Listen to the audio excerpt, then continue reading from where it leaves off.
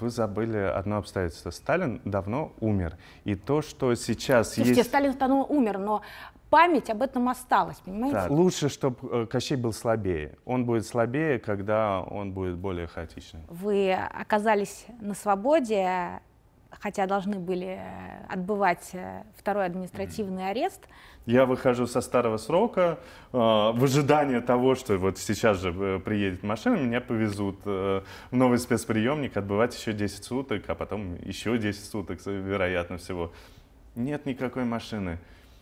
Как-то странно ехать самому э, на новый арест э, в новый спецприемник.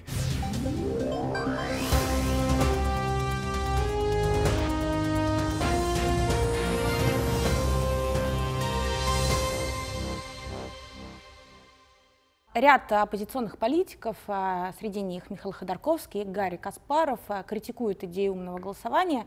Если коротко, она сводится к тому, что вы призываете а, людей прийти на участки и проголосовать за кандидата, который не поддерживается мэрией или не поддерживается в целом Единой Россией, и проголосовать за того, у кого наибольшие шансы вне зависимости от партийной принадлежности этого человека и вне зависимости от его взглядов и идеологических установок. Вот э, те, кого я назвала, Ходорковский и Каспаров, э, говорят, что таким образом вы легитимизируете эти выборы. Угу. Что можете возразить? Мы не легитимизируем эти выборы. Мы в этой процедуре подобной выборам мы находим слабое звено Единой России, слабое звено вертикали и стараемся им причинить наибольший вред, используя вот эту процедуру. То есть вы, грубо говоря, играете а, по тем правилам, которые вам навязаны? Сейчас а, такая реальность. В этой реальности нет выборов. В этой реальности у нас есть не так много механизмов, механизмов, чтобы противостоять. Это выходы людей на улицы и это использование вот этих процедур. Еще один а, аргумент Ходорковского, он такой в стиле примерно «Брата 2», «Сила в правде». Он говорит о том, что аморально а, голосовать в соответствии с тактикой умного голосования. Вот такой вот аргумент, как вы можете прокомментировать, потому что, ну, действительно, для многих людей делать такой тактический выбор, а, это идти на компромисс со своей собственной совестью. Цель оправдывает средства? А, смотрите, в этой ситуации я могу сказать, что аморально было бы а, оставить все как есть, оставить э, кандидатов от «Единой России» и сказать, ну, мы в этой процедуре не участвуем, пусть они побеждают. А Смотри... почему это аморально? Подождите, почему это аморально? Вот, например, давайте возьмем округ э, Ильи Яшина, это 45-й mm-hmm. округ. Там только что сняли кандидата от КПРФ, а, которого Яшин поддержал. Эта вся процедура заняла 24 часа, насколько я понимаю. Это же замечательно. Оста... Подождите, там остались э, Валерия Косомара, которая поддерживается мэрией, и э, Михаил Конев, который, в общем, э, тоже не вполне понятно, поддерживается он мэри или нет.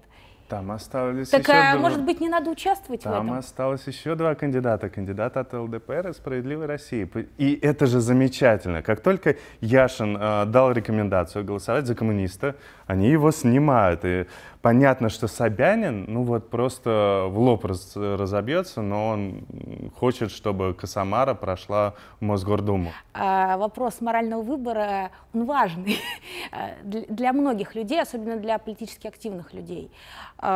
Смотрите, я 12 июня записывала интервью с вашей коллегой, mm-hmm. с Любовью Соболь, и она в этом интервью сказала следующее.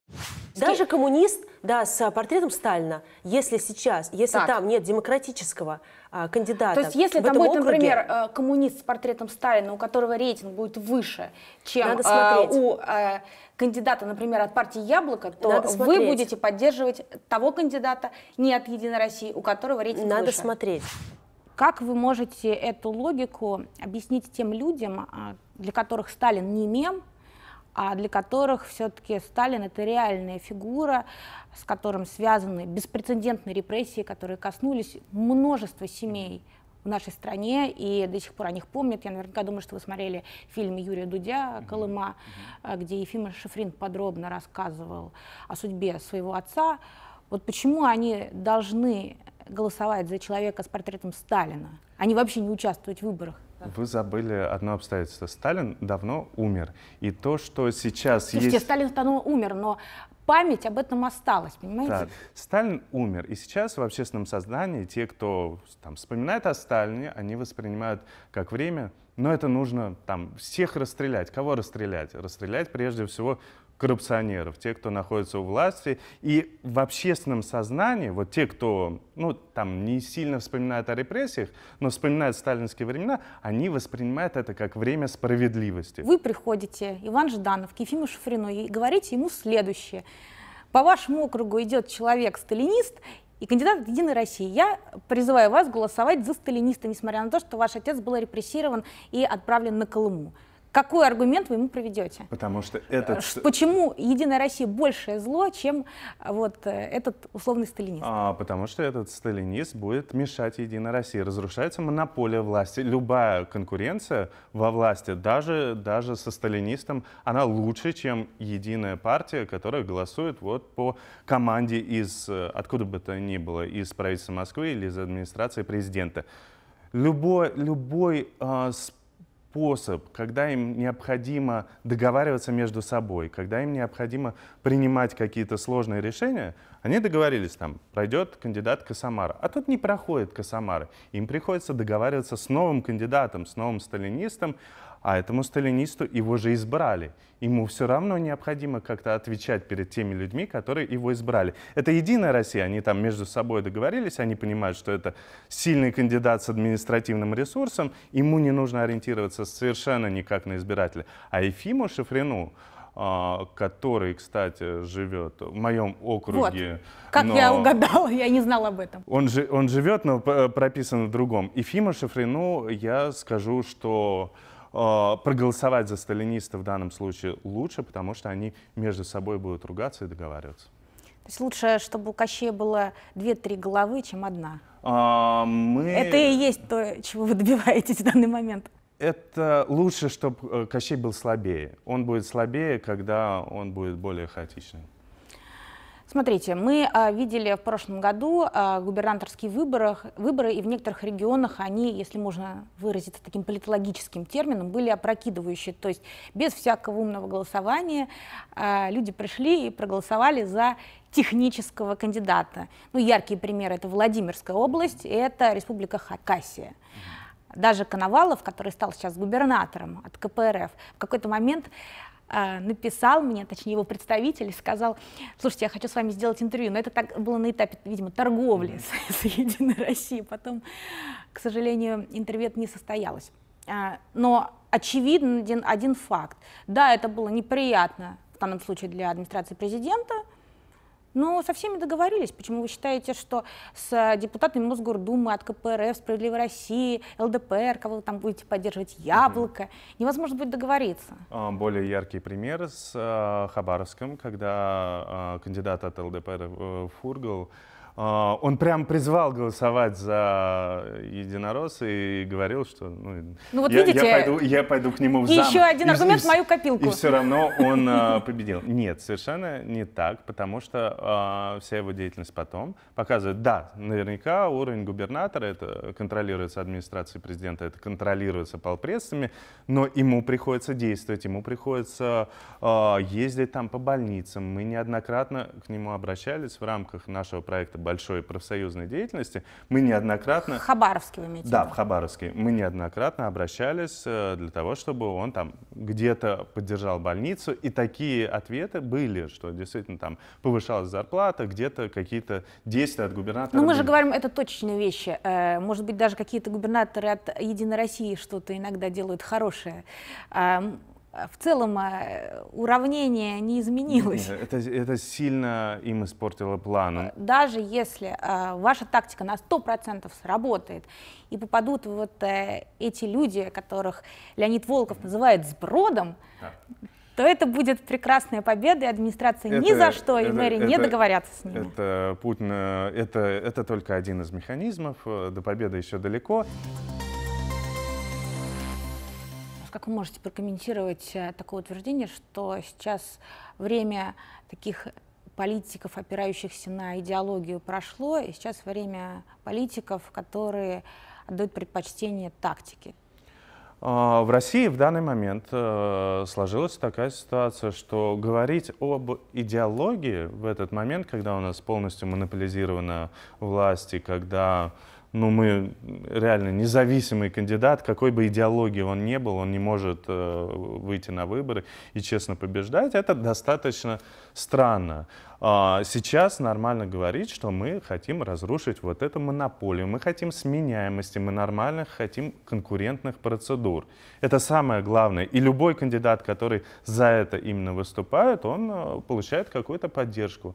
Но не кажется ли вам, что э, будет конце концов может накопиться такое разочарование в тактике, и в долгосрочном плане вы можете проиграть тем политикам, о которых, может быть, даже еще ничего не знаем, которые все же опираются на определенную четкую идеологию. Да, вполне может быть. Нам самое главное, чтобы была сменяемость вот этого. Вполне может быть, что потом придут новые политики.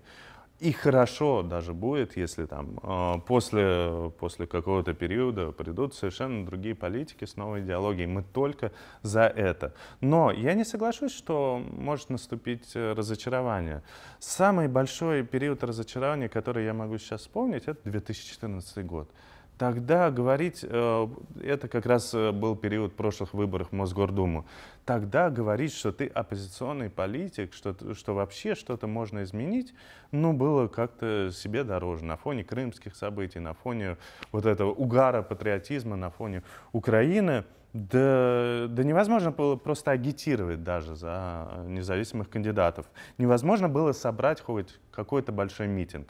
Сейчас же совершенно, совершенно другое ощущение. Я сейчас наоборот чувствую вот эту волну подъема, волну возмущений.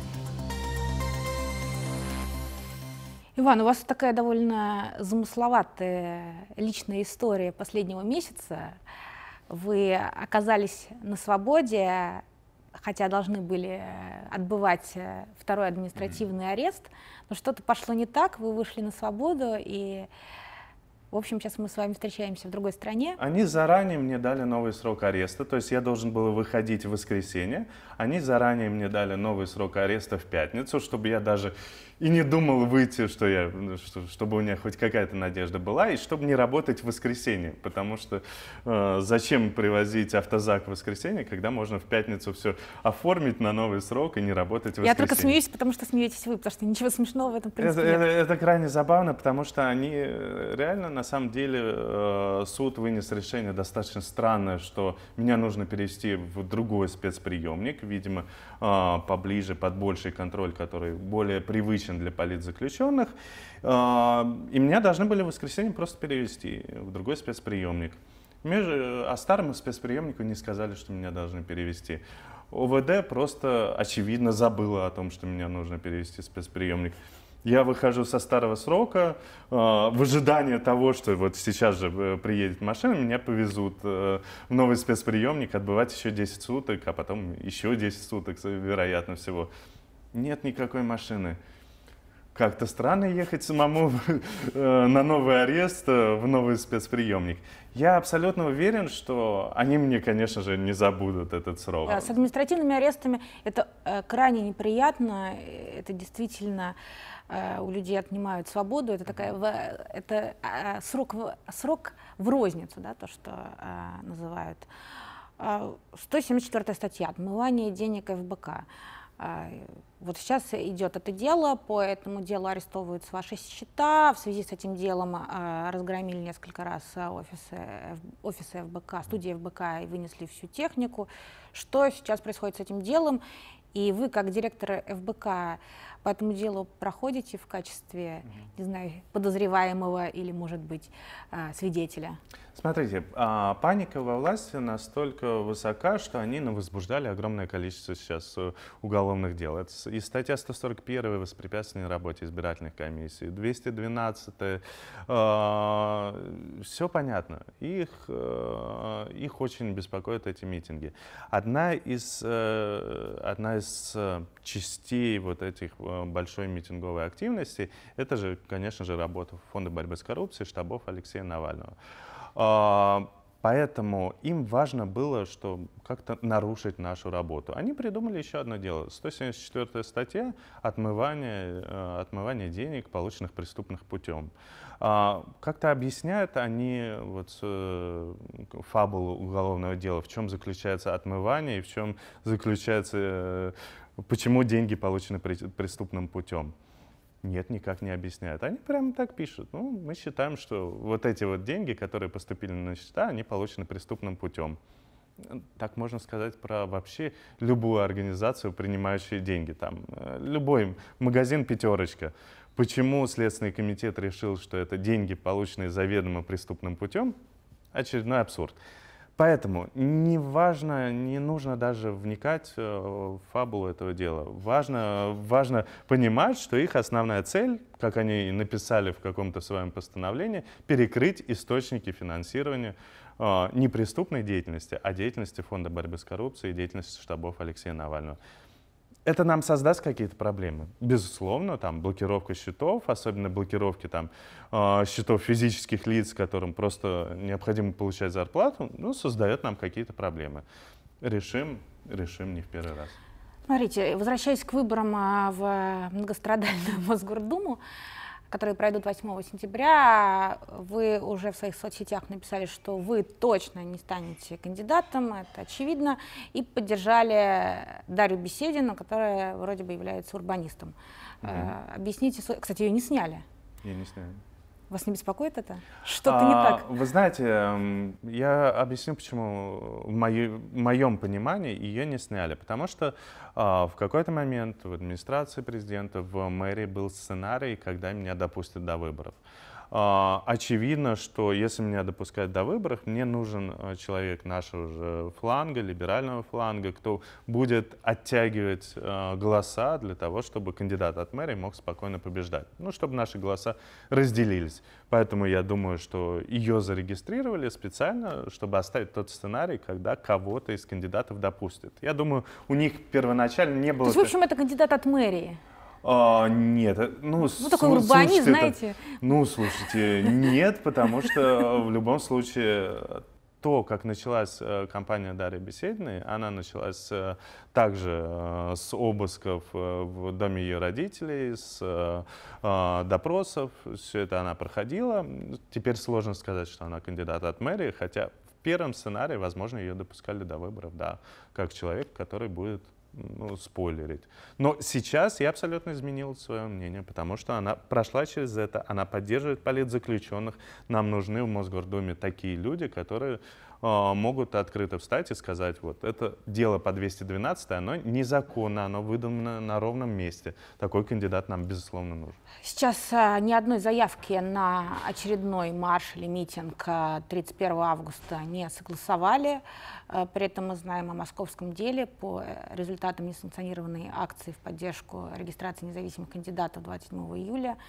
Там по-моему, около 10 человек да, проходят, они могут получить реальные сроки. Будет ли ФБК призывать принимать участие в этой несанкционированной акции 31 августа? А, естественно, политики, независимые кандидаты будут э, призывать уже, уже, ну, собственно, о кампании объявил юрист Фонда борьбы с коррупцией, об этой акции объявила Любовь Соболь. Ну, естественно, мы поддержим эту акцию. Какие будут требования? Требование прежде всего освободить политических заключенных по 212 статье, а, ну и связанным делам 212.1, прекратить все эти выдуманные уголовные дела, требование, а, чтобы была честная процедура выборов. Понятно, а вы понимаете, что... что если опять люди выйдут на несанкционированную акцию, то есть существенные риски, что этих людей опять, я не знаю, арестуют, а, будут против них возбуждать уголовные дела, будут налагать штрафы. А, сейчас... То есть вы будете э, требовать освобождения политзаключенных, что угу. правильно, и при этом а, подвергать людей риску Смотрите, новых людей риску а, тому, что они окажутся завтра политзаключенными. Смотрите, вы сейчас как раз а, транслируете позицию администрации президента. Цель этих уголовных дел — запугать как можно. Я не транслирую позицию администрации президента, извините, я вас перебиваю на этом месте. Я задаю вам вопрос. Да который Она... возникает у разных людей. Ну, э, как раз этот вопрос, он заключается в том, что часто мэрия, администрация, они используют вот этот страх. Они специально и придумали э, для того уголовные дела, чтобы запугивать ими. Более того, они э, придумали уголовное дело для активиста Котова, такое по 212 Дадинской статье за неоднократное нарушение э, митингов. И максимально э, порядка проведения митингов, максимально короткие сроки. Я думаю, что даже вплоть до того, что до конца августа или в начале сентября состоится рассмотрение его уголовного дела, ему вынесут, э, естественно, обвинительный приговор. Для того, чтобы запугать людей, для того, чтобы сказать, вот видите, вы выходите на митинги, и такое может случиться ну, с каждым. Да, это а, так такое в какой-то вероятности может случиться с каждым, даже если вы не выходите на митинг. Учитывая, что сейчас арестовали счета ФБК а, и вообще затруднили работу, будете ли вы, сможете ли вы помогать людям, которые, которые могут быть столкнуться со штрафами и так далее, там, угу. оказывать юридическую поддержку тем кто, возможно, будет проходить по с, э, уголовным административным делам? С начала этих митингов мы запустили и линию юридической поддержки, и линию по обжалованию а, тех незаконных постановлений, которые выносятся в отношении задержанных на митингах. Мы сейчас а, продолжаем а, до сих пор собирать деньги в поддержку а, политических заключенных по 212 статье.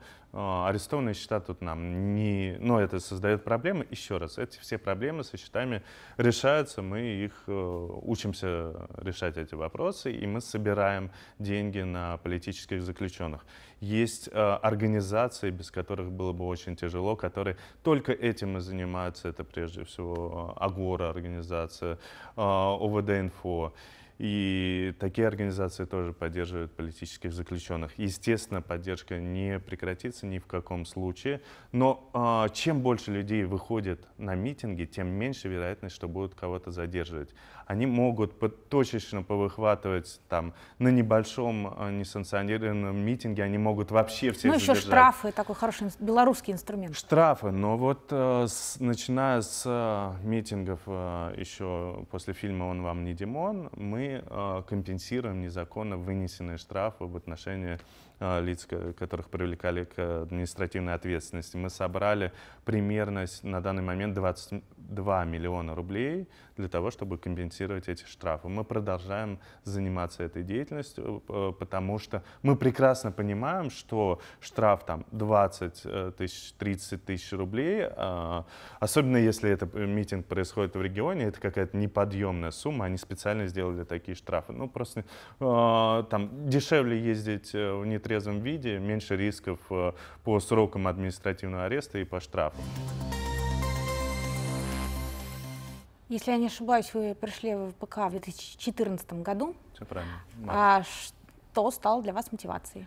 А, э, до фонда борьбы с коррупцией я уже пытался создать, э, где я жил в Ненецком автономном округе, пытался создать отделение тогда еще партии Народный альянс.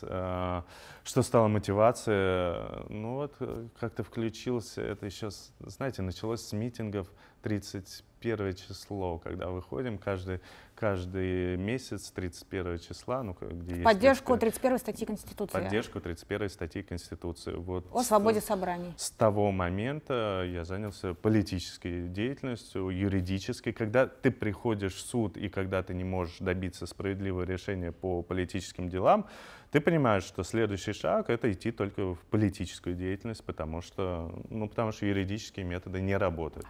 Как э, вы бы описали фонд борьбы с коррупцией? Это такая иерархическая структура, как, например, все крупные корпорации — это иерархическая структура. Я не знаю, что вы улыбаетесь. Есть второй вариант? Я сегодня просто вспомнил, а, вспомнил один вопрос, который нам необходимо решить, э, нарисовать листовку. И я подумал, как я буду договариваться с нашим руководителем отдела дизайна, чтобы уговорить ее, что эта листовка нужна, потому что это ее чисто зона ответственности, и я не хочу там, принимать директивные решения, что вот нам именно нужно сейчас Но, но, но это э, такой хороший пример, э, который опровергает мою теорию. Но у меня есть второй вариант. Просто это сообщество единомышленников. Это, безусловно, организация, которая требует иерархии, потому что сообщество единомышленников, оно быстро э, ну, идет в разброд такой. Каждый тянет одеяло на себя, и, и каждый старается ну, доказать, э, что вот такой метод лучше, и часто это очень Ну, вот это особенность общественной организации, да. что э, люди должны договариваться, и есть несколько лидеров. У и, вас не так, как я и понимаю. Это становится неэффективной работой. Поэтому мы так. стараемся сочетать э, иер, иерархическую структуру. В каких аспектах? Э, безусловно, э, цели стратегического планирования, политические какие-то вопросы, они исходят э, от руководства Фонда борьбы с коррупцией, штабов, от Алексея Навального а, какие-то вопросы, вот, вопросы технического характера, вопросы методов э, достижения этих целей, они остаются на усмотрение руководителя отдела, безусловно. Ну, там, когда ставится какая-то задача, ну вот, например, как начинался проект «Умное голосование» и одновременно начинался с профсоюзами. Начинается все с письма, после письма идет совещание руководителей отделов, которые высказывают позицию, как лучше достигнуть этой цели. А, естественно, там становятся, э, ставятся четкие сроки, э, ставятся ответственные по задаче, ставится менеджер процесса этого. Э, и каждый отвечает за, за свой участок. Невозможно так было, если бы менеджер, менеджер процесса вдруг в середине сказал, нет, а я вижу вот эту задачу по-другому. А мой последний вопрос. Есть ли такое условие, при которой вы откажетесь от той борьбы, которую вы сейчас ведете, несмотря на то, что вы уже сказали, что она абсолютно правильная, у вас не возникает никаких э, моральных дилемм? А, безусловно, есть э, в течение вот даже того небольшого политического срока, небольшого с точки зрения изменений в России, вот этих э, последних пяти лет, Безусловно, есть те люди, которые там перегорали. Есть э, те, кто, ну, говорил, ну, все, я устал. Наверное, ваш я... предшественник, да? А, ну, в, в том числе он, а, не сказать, что он прям перегорел, но я вот устал именно от этого вида деятельности, я хочу сменить вид деятельности. А, речь идет о Романе Рубанове, э, предыдущем директоре ФБК. Это нормально, но для себя я пока не вижу этого пути. Для себя я не вижу, что я еще перегорел. Мне кажется, я еще много чего могу сделать в России. А, меня не пугают э, эти неуголовные дела, ничего, поэтому я думаю, что еще какое-то время я абсолютно точно продержусь, но люди меняются, я не могу сказать, что я прям до конца жизни хочу быть оппозиционером. Я хочу, чтобы мы пределах нашей жизни достигли прекрасной России будущего, где мы можем заняться нормальной политической деятельностью, а не борьбой с э, вот этим монстром, с этой монополией. Иван, спасибо вам большое. Спасибо вам.